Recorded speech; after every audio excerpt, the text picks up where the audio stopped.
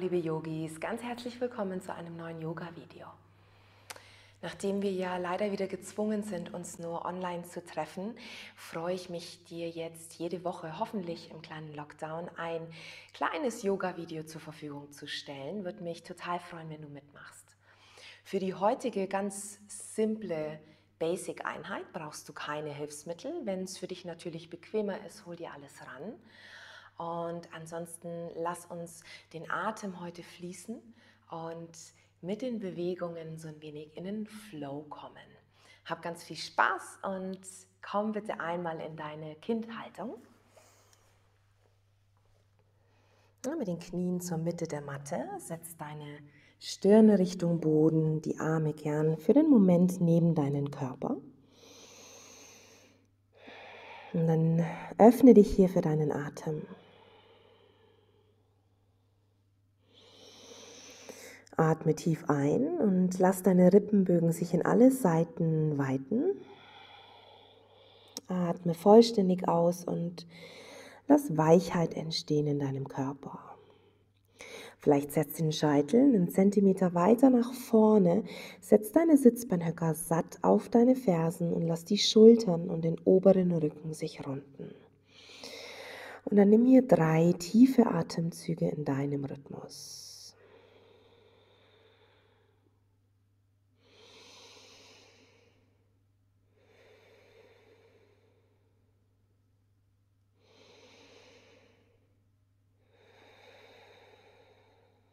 bei deiner nächsten Ausatmung schmelze zwischen deinen Schulterblättern. Und dann lass deine Stirn dort, wo sie ist. Bring deine Arme lang nach vorne. Setz deine Hände schulterbreit und spreiz deine Finger ganz, ganz weit, wie für die Hundhaltung. Streck deine Arme und somit die Körperseiten hier lang, tief einatmen.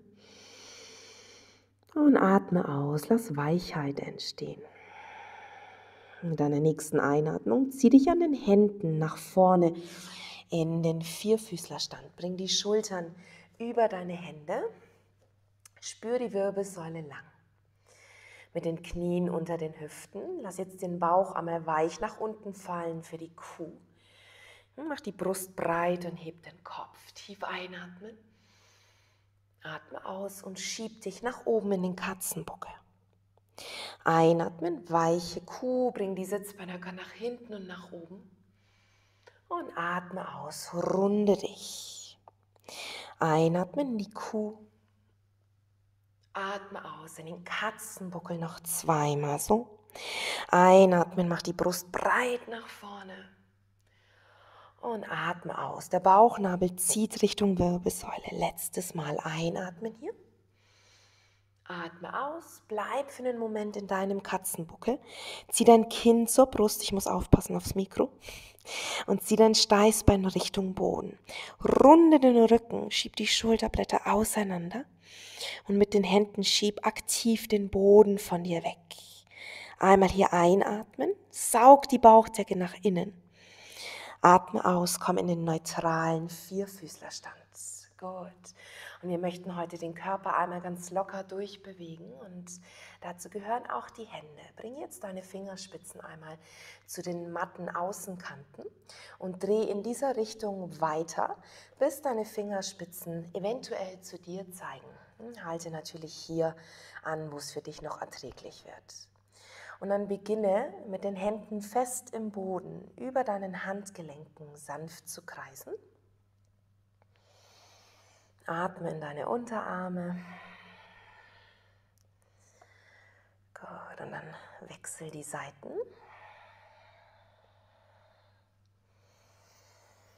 Und hm, spür, wie langsam Wärme entsteht in den Handgelenken. Gut. Und dann komm zum Stillstand. Vielleicht lauf mit den Knien minimal näher zu den Händen und schau mal, wie weit und ob du dich ein wenig nach hinten absetzen kannst. Hm, gräm dich nicht, wenn es nicht klappt. Hat auch viel mit der Anatomie deiner Handgelenke zu tun. Mach die Unterarme hier lang. Hm, tief einatmen. Hm, atme aus. Gut, und dann komm wieder zurück in deinen neutralen Vierfüßlerstand. Stülp die Hände um, setz dich einmal nach hinten, schüttel einmal ganz feste. Denn wir möchten uns heute nochmal der Basis unseres Körpers bewusst machen. Wir werden heute viel im Hund sein und somit ist die Basis dein Fundament Hände und Füße. Stütz dich nach vorne auf und stülp alle zehn Zehen um. Setz dich satt nach hinten auf deine Zehen. Und dann richte die Wirbelsäule auf, verlagere dein Gewicht schön nach hinten und vielleicht roll vom kleinen Zeh zu kleinen Zeh. Lass hier die Plantarfaszie einmal ein bisschen sich öffnen. Tief atmen. Gut. Atmen letztes Mal hier ein. Hm, vollständig aus. Komm langsam runter von deinen Füßen. Setz die Fingerspitzen zuerst auf die Matte. Vielleicht schüttel deine Füße ein bisschen aus. Gut. Und dann lass uns beginnen. Großer Vierfüßlerstand. Stülp deine Zehen um. Und dann atme hier einmal ein. Und mit deiner Ausatmung heb die Knie vom Boden. Schieb dich mit weichen Knien nach hinten in den ersten hinabschauenden Hund. Und dann komm hier erstmal an. Nimm dein Fundament wahr, deine Hände schulterbreit tief im Boden, deine Füße hüftbreit und wenn du möchtest, dann lauf hier dich ein bisschen ein in diesem Hund. Tief atmen und ein wenig rekeln, wenn sich's gut anfühlt für dich. Lass die Beinrückseiten sanft ein wenig länger werden. Und dann komm zur Ruhe, finde in deinen Hund, Knie ein wenig angewinkelt. Atme ein und heb dein Becken weit weg von deinen Schultern. Mach die Körperseiten ultra lang. Und dann atme aus, lass die Fersen sanft sinken und werd weich im hinteren Herzen. Gut, lass den Atem kommen. Lass ihn gehen. Spür dich stabil im Boden. Mit deiner nächsten Einatmung roll nach vorne in die Bretthaltung, bring die Schultern über die Hände, atme aus und bring dich wieder nach hinten in den Hund. Noch zweimal so einatmen, roll nach vorne, atme aus, Steißbein voran in den Hund. Einatmen Brett und ausatmen Hund. Atme hier noch einmal ein. Und dann atme aus und lass dein Herz weich werden. Mit der nächsten Einatmung heb dein rechtes Bein in den dreibeinigen Hund. Obacht, atme aus, rechtes Knie nach vorne zur Nasenspitze, Schultern über die Hände. Einatmen, heb dein Bein und ausatmen noch einmal, bring Knie und Nase näher zueinander. Einatmen, dreibeiniger Hund. Obacht, atme aus, setz den rechten Fuß nach vorne, rechts außen, neben deine Hand. Deine Hände sind unter den Schultern. Dreh die rechten Zehenspitzen ein bisschen nach außen. Wenn du modifizieren möchtest, leg dein hinteres Knie zum Boden oder heb den Oberschenkel höher. Lauf deine Hände breiter und weiter weg von dir Atme ein in die Länge deiner Wirbelsäule. Atme aus und senke Bauch und Rücken tiefer Richtung Boden. Atme. Wenn du möchtest, leg die Unterarme oder einen der Unterarme Richtung Boden. Auch hier könntest du dir einen Klotz unterlegen, ein Buch. Hm, vielleicht schaukel ganz sanft in deine Hüftgelenke. Und atme ein letztes Mal hier ein und aus. Nimm die Hände wieder unter deine Schultern. Schieb dich nach hinten in den dreibeinigen Hund. Heb dein rechtes Bein. Und dann atme aus und setz den rechten Fuß neben den linken zurück in den Hund. Wir fließen durch ein Vinyasa. Komm einatmen nach vorne in die Bretthaltung. Bring die Brust weiter über deine Hände. Leg die Knie ab Und mit der Ausatmung schweb zum Boden, ganz so wie du möchtest. Komm auf den Bauch zum Liegen.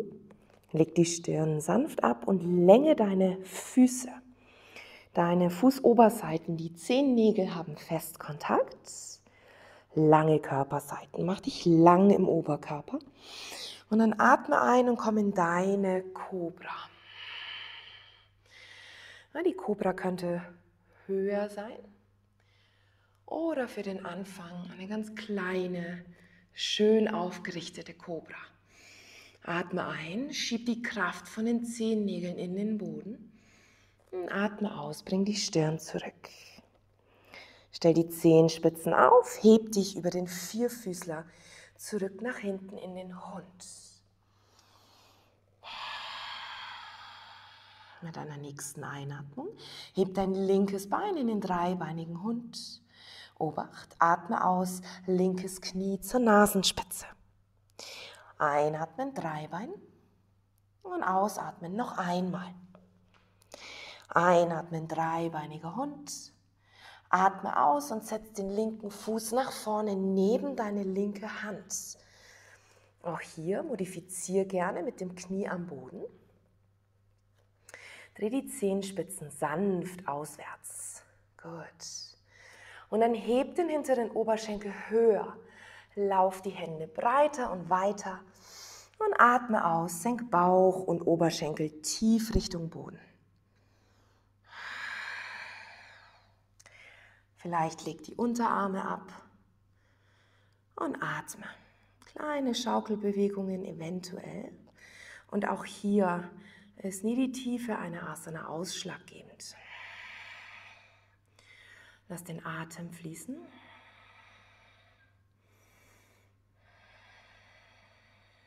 Atme ein letztes Mal ein und aus. Stell die Hände zurück unter die Schultern. Mach dich bereit für den dreibeinigen Hund. Schieb dich lang nach hinten. Und dann atme aus. Setz den Fuß neben den rechten. Komm an dem Hund. Einatmen, roll nach vorne ins Brett. Obacht, atme aus, schieb dich nach hinten. Und dann nimm mit der nächsten Einatmung wieder dein linkes Bein nach oben. Atme aus, setz den Fuß weit nach vorne zwischen die Hände. Und länge deine Wirbelsäule. Heb den hinteren Oberschenkel. Löst die Hände, komm einatmen nach oben. Krieger 1 Variation.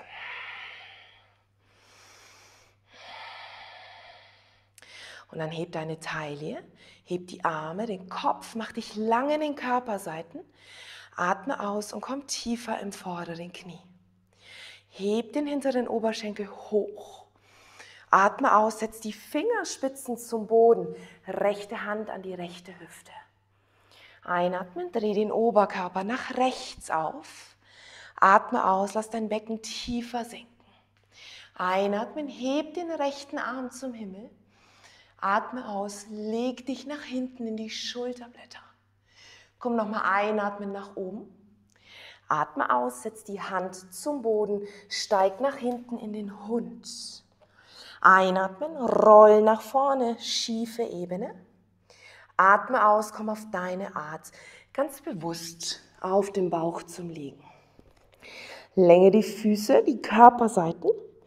Atme ein und komm nach oben in deine Cobra. Einatmen, ganz weite Schlüsselbeine. Atme aus, Stirn zurück zum Boden. Heb dich nach hinten in deinen Hund.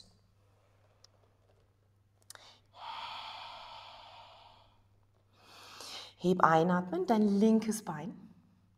Atme aus, setz den Fuß weit nach vorne zwischen die Hände. Mach dich einmal lang hier, heb den hinteren Oberschenkel. Löst die Hände, komm nach oben. Krieger 1 Variante.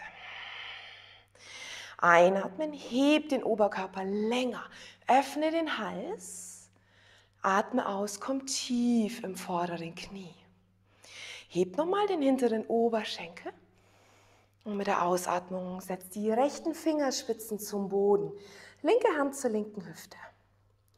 Dreh den Oberkörper nach links auf. Lass dein Brustbein führen Lass das Becken tiefer sinken. Heb einatmen den linken Arm. Atme aus, lehn dich in die Schulterblätter. Nochmal ein hier und aus. Bring die Hand zurück zum Boden. Obacht. Einmal einatmen hier, mach die Wirbelsäule lang. Atme aus, komm nach vorne, Vorbeuge, beide Füße nebeneinander. Jetzt lass den Oberkörper, Kopf und Arme einmal ganz weich nach unten fließen. Vielleicht greif den gegenüberliegenden Ellbogen. Dein Gewicht gut verteilt auf deinem ganzen Fuß. Vielleicht eine kleine Beuge in den Knien. Mach dich schwer und leicht gleichermaßen. Gut, dann lass die Arme hängen. Nimm deine Hände entweder zum Schienbein oder setz die Fingerspitzen vor dir auf.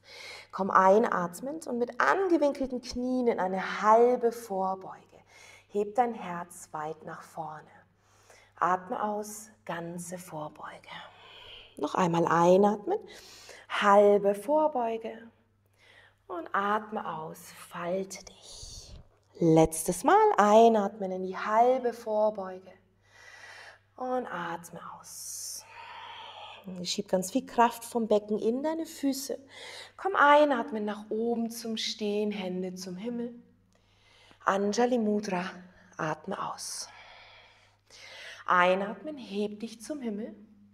Obacht, atme aus, Hände hinter den Rücken in den Flechtgriff. Komm in eine Beuge in den Knien. Atme ein, öffne die Brust Richtung Himmel und zieh den Flechtgriff sanft Richtung Boden. Einatmen hier. Atme aus und komm in eine weiche Vorbeuge, bring den Flechtgriff über den Kopf. Beginn langsam deine Beine zu strecken, so wie es möglich ist. Atme ein, heb deine Schulterköpfe mehr Richtung Himmel, spür wie der Nacken frei wird. Atme aus und lass den Scheitel sinken. Und dann winkel dein rechtes Knie an, linkes Bein bleibt gestreckt. Bring deine rechte Schulter nah zum rechten Knie, dreh dich nach links auf. Atme hier ein und atme aus. Komm zurück zur Mitte, beide Beine lang. Und dann wechsel auf die linke Seite. Linkes Knie, linke Schulter ganz nah zueinander. Streck dein rechtes Bein. Und dann heb die Schultern höher, tief einatmen. Und atme aus. Oh, gut. Komm zurück zur Mitte. Winkel deine Knie an, bring den Flechtgriff zum Rücken. Komm einatmen nach oben. Heb die Arme. Obacht. Atme aus. Utkatasana, kleiner Küchenhocker. Setz dich tief. Einatmen hier. Und Obacht, atme aus, komm nach unten in deine Vorbeuge. Einatmen, halbe Vorbeuge. Atme aus, setz die Hände zum Boden, steig nach hinten in deinen Hund. Finde deine optimale Länge und nimm hier einmal dein Fundament wahr. Schieb die Hände tief in den Boden, Fersen weich. Und dann winkel die Knie mehr an und schieb jetzt dein Becken weit nach hinten und nach oben. Die Sitzbeinhöcker weiten sich weg von deinen Schultern. Mach dich so lang du bist. Einatmen hier. Atme aus und weite deine inneren Oberschenkel nach außen. Vielleicht strecken sich die Beine mehr. Fersen lass natürlich fallen. Wir rollen, wir fließen durch ein Vinyasa. Komm einatmen nach vorne ins Brett. Atme aus, komm auf deine Art auf dem Bauch zum Liegen. Füße lang, bring hier Energie in den Boden. Deine Unterarme sind senkrecht. Und jetzt heb deine Ohren, deine Schultern näher zu den Ohren. Spür, wie deine Körperseiten länger werden. Atme dich einmal hier lang und voll. Und dann komm einatmen nach oben in deine Kuh. Und jetzt weite deine Schultern nach außen. Spür, wie deine Schlüsselbeine breiter werden. Und leg deine Schulterblätter ganz glatt am Rücken an. Und deine Schulterblätter schubsen dein Herz nach vorne. Atme ein und heb den Kopf. Atme aus, bring die Stirn zurück zum Boden und leg einmal deinen linken Arm auf deine linke Seite, die linke Hand auf Höhe deiner Schulter, zeigt Richtung Boden. Heb dein rechtes Bein und roll dich einmal auf deine linke Körperseite rüber. Stell deinen rechten Fuß hinter dir auf. Die rechte Hand stützt dich eventuell. Und leg die linke Schläfe in den Boden. Und jetzt atme.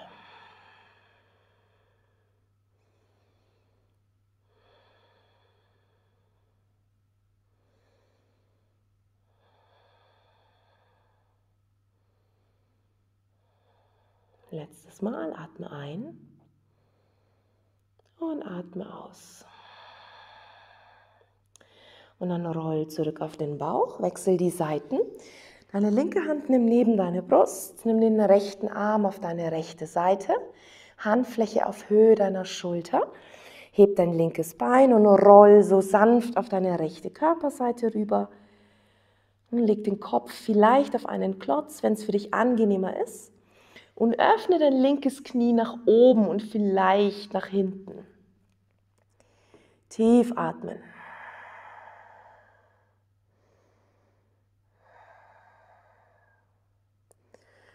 Vielleicht möchtest du die Ujjayi-Atmung hier anwenden. Hm, dieses sanfte Meeresrauschen, das entsteht in deiner Kehle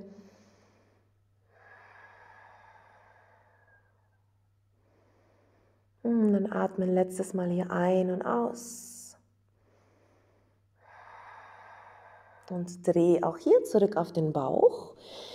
Nimm deine Unterarme wieder senkrecht neben deine Brust und schieb dich ganz sauber vom Vierfüßler nach hinten in den Hund. Gut. Hm, spür die Körperseiten hier ganz lang. Atme ein und atme aus. Nimm deine Füße vielleicht ein bisschen enger zueinander mit deiner nächsten Einatmung heb dein rechtes Bein in den dreibeinigen Hund. Öffne sogar deine rechte Hüfte nach rechts. Mach dich ganz, ganz weit und lang hier. Atme ein, schieb dich noch weiter von deinen Händen weg. Und mit der Ausatmung lass deine rechte Achselhöhle wieder ein bisschen tiefer Richtung Boden sinken. Beginn dein rechtes Knie anzuwinkeln. Heb dein Knie zum Himmel und lass die rechte Ferse nach links rüberfallen. Du könntest hier bleiben oder wenn du möchtest, heb den Kopf und schau über deiner linken Schulter zu deinem rechten Fuß. Einmal hier tief einatmen und aus. Atme ein, dreh zurück zur Mitte. Atme aus und setz den Fuß weit nach vorne zwischen deine Hände. Platziere dein hinteres Knie sanft zum Boden. Mach den Abstand groß zwischen vorderer Ferse und hinterem Knie. Du bist auf deinen linken Fingerspitzen. Und wir gehen einmal in die Oberschenkeldehnung. Du könntest den Oberkörper nach rechts aufdrehen und dann deinen hinteren Fuß greifen. Wenn es nicht funktioniert, probiere deine Hüfte übers Knie zu bringen und dann den Fuß zu greifen, eventuell. Und wenn es alles nicht klappt, dann hebt dir die Ferse so weit es geht Richtung Popo ran. Gut, hm, wähle deine Variante. Und wenn du den Fuß in der Hand hast, schieb mit dem Fuß in die Hand und mit der Hand in den Fuß. Lass dein Becken tiefer sinken. Und vielleicht komm auf den linken Unterarm.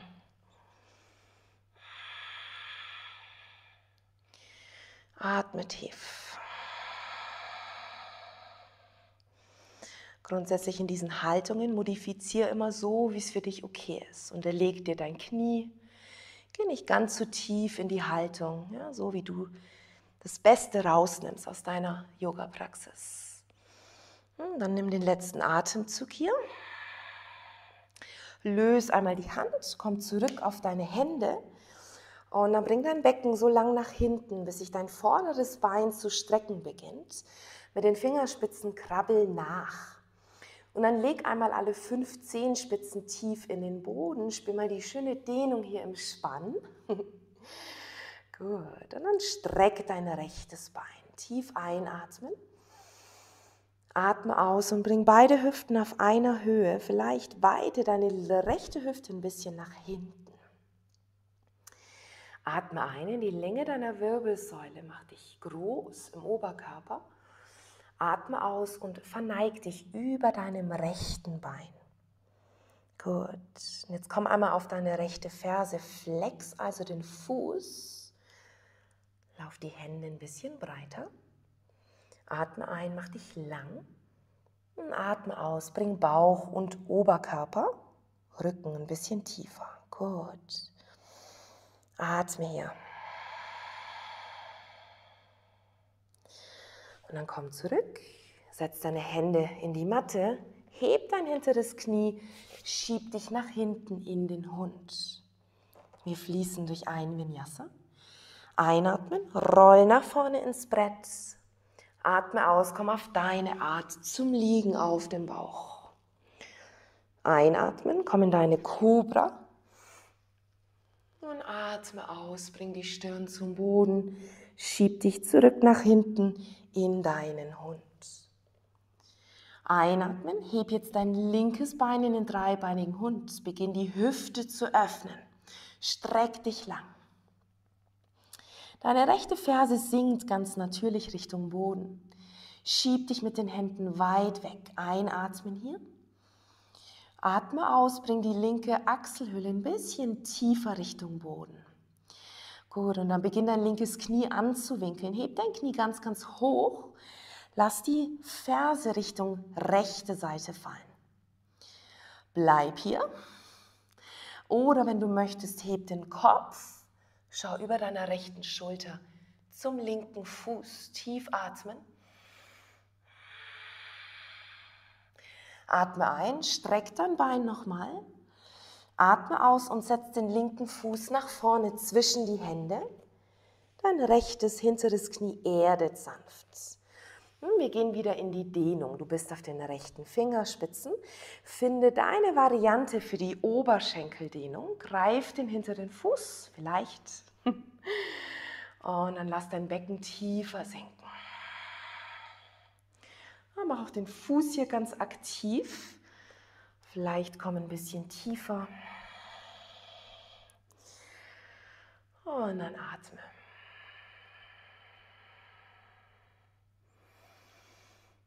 Lass Weite und Raum entstehen und schick ein bisschen Aufmerksamkeit in die Regionen deines Körpers, die jetzt am meisten ansprechen auf diese Dehnung.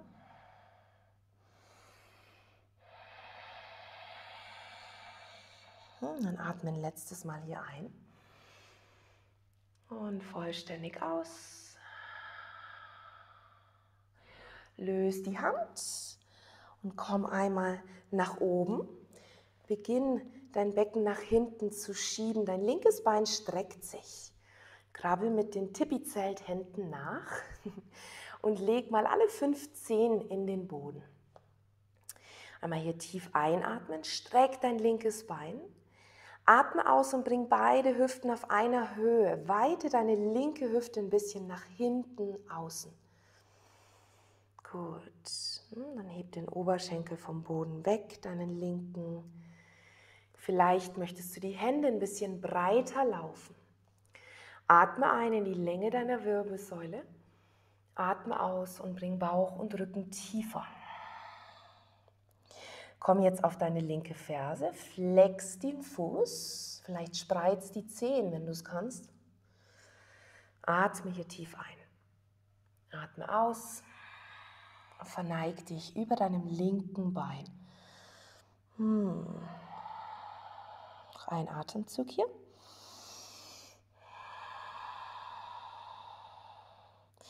Komm zurück, setz deine Hände unter deine Schultern, steig nach hinten in den Hund.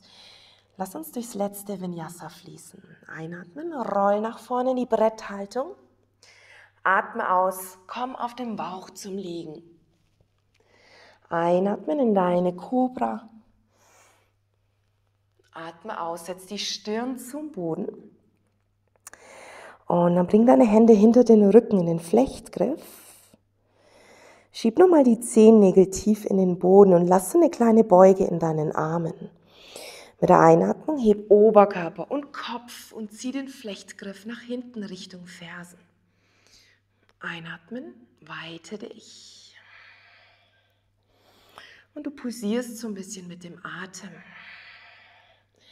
Lass Brust und Schlüsselbeine weiter werden. Und dann atme aus, löse langsam auf. Nimm die Hände wieder neben die Brust. Schieb dich nach hinten in deinen sehr gut. Und dann atme hier ein letztes Mal ein, heb dein linkes Bein, in meinem Fall jetzt das linke, damit ich zu dir gleich schaue. Atme aus und setz den Fuß nach vorne. Du kannst auch den rechten nach vorne setzen. Gut. Und dann krabbel mit deinen Händen auf die rechte Seite und dreh beide Fußspitzen nach rechts oder links, ja, je nachdem. Komm also in eine große Grätsche, großzügig. Hab die Knie ein bisschen angebeugt. Mhm.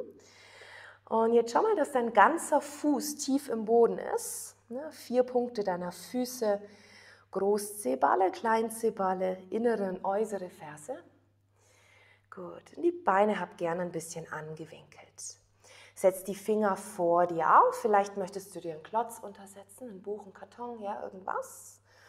Und dann atme einmal ein, heb dein Herz weit nach vorne in eine halbe Vorbeuge und beginn ganz langsam deine Beine zu strecken. Gut. Atme hier und jetzt schieb dein Becken nach hinten, dein Scheitel nach vorne, deine Beine lang und dein Gewicht gleichmäßig verteilt. Nimm deine linke Hand unter die Nasenspitze, vielleicht auf die Fingerspitzen. Bring die rechte Hand zur Hüfte. Und jetzt lass deine Hüften ganz neutral. Atme ein und dreh nur den Oberkörper nach rechts auf. Probier beide Schultern in eine Linie zu bekommen. Und wenn du möchtest, heb den rechten Arm zum Himmel. Tief einatmen, mach dich weit in alle Richtungen. Nochmal einatmen hier. Und dann atme aus, bring die rechte Hand unter deine Nasenspitze. Wir tauschen die Seiten linke Hand zur Taille und dann atme ein, heb einmal dein Herz nach vorne und dreh dann nach links. Dein Brustbein führt dich. Hm, atme ein, beide Schultern in einer Linie. Und dann atme aus und heb den Arm zum Himmel. Streck dich wie so ein Seestern. Tief einatmen. Schieb den Scheitel nach vorne. Und atme aus. Letztes Mal ein hier. Und ausatmen. Die Hand zurück zum Boden. Komm einmal tief in eine Vorbeuge. Lass den Scheitel Richtung Boden sinken. Hm, atme. Du könntest deine Hände unter deinen Füßen, unter deinen Beinen nach hinten laufen. Dich ganz weit strecken in alle Richtungen. Noch einmal hier einatmen. Nimm die Hände wieder für eine halbe Vorbeuge vor dich. Lauf deine Füße zueinander, ein bisschen mehr als hüftbreit. Und dann setz dich nach unten in Malasana, Yogi Squat. Und wenn deine Fersen nicht am Boden sind, gräme dich nicht. Auch das ist vielleicht anatomisch bedingt. Nimm die Hände vors Brustbein, ein Mikro, und schieb jetzt mit deinen Oberarmen deine Knie sanft auseinander. Deine Schlüsselbeine weiten sich. Hm, nimm den Scheitel zur Decke und dein Steißbein Richtung Boden. Wenn für dich Malasana ganz unmöglich ist und sich nicht sehr gut anfühlt, nimm die Fingerspitzen zum Boden und komm in eine aktive, ich nenne es immer Monkey Move Variante, also ein bisschen die Hüften geschmeidig machen. Und wenn du aber in Malasana bist, setz dich noch einmal tief hier. Gut. Ich drehe mich einmal seitlich zu dir. Egal, wo du jetzt bist, streck die Arme nach vorne aus und komm einmal mit rundem Rücken nach unten zum Sitzen. Irgendwann plumpst verlagere dein Gewicht nach hinten und heb deine Unterschenkel parallel zum Boden in ein halbes Boot. Deine Arme ziehen nach vorne, kleiner Abstand zwischen Bauch und Oberschenkel. Hier einmal einatmen, heb dein Herz höher und atme aus. Heb dich noch einmal hier tief ein. Letztes Mal einatmen. Und dann atme aus, senk deine Beine ganz locker Richtung Boden. Gut, setz deine Füße recht weit weg von dir auf, hüftbreit. Nimm deine Hände unter deine Schultern. Atme ein, heb dein Kreuzbein in den Körper, mach dich lang. Und dann atme aus und komm in den Tisch. Heb dein Becken, heb den Bauch, dein Schambein. Und am besten halte deinen Nacken fest. Wenn der Kopf einmal hinten ist, kommt er ganz schwer wieder hoch.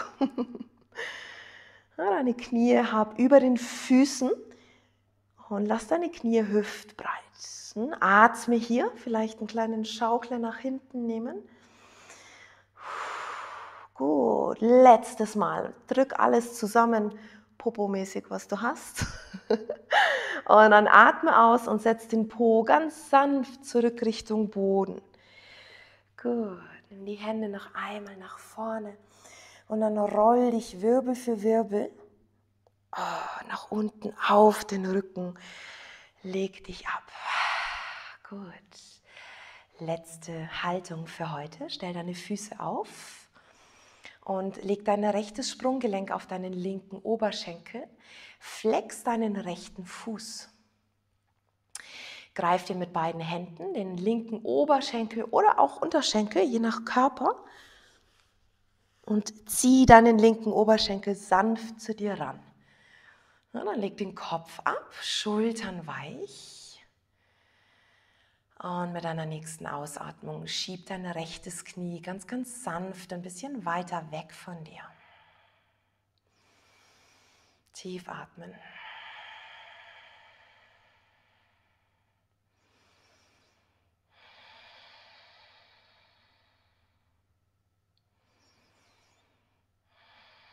Und dann zieh nochmal dein Knie ein bisschen näher ran. Flex den rechten Fuß und schieb dein Knie weg. Gut, und dann löse vorsichtig die Hände vom linken Fuß, vom linken Bein, der Fuß. Stell deinen rechten Fuß ab und wechsel die Seiten. Linkes Sprunggelenk auf den rechten Oberschenkel. Greif zu deinem rechten Bein. Hm, für manche ist es bequem, die Wade hier zu greifen, dein Schienbein. Flex deinen linken Fuß. Und jetzt zieh den rechten Oberschenkel so nah an dich heran, wie sich's gut anfühlt in deiner linken Gesäßhälfte. Und schieb dein linkes Knie weich und achtsam weg von deiner Schulter. Und kontrollier nochmal, dass du im Kiefergelenk und in den Schultern loslässt, die Stirn weich. Und den letzten Atemzug hier.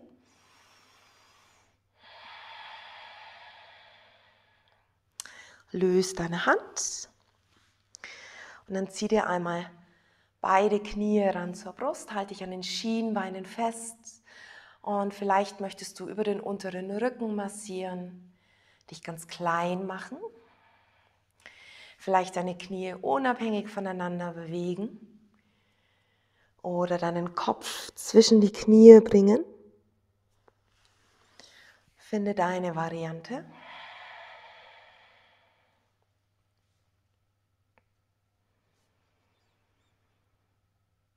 Und dann leg nochmal deine Beine zum Boden, nimm deine Arme nach hinten und nach oben.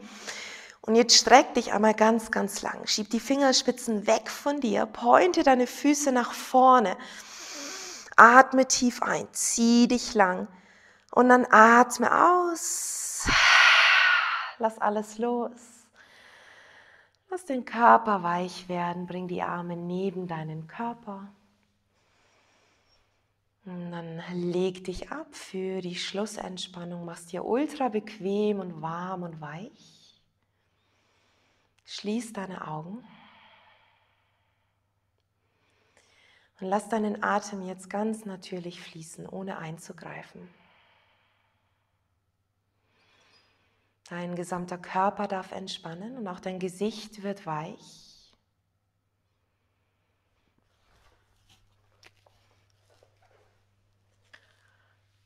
Und dann bleib hier in deiner Schlussentspannung, solange es dir gut tut. Am besten mindestens 5, 6 Minuten, noch besser 10, 15.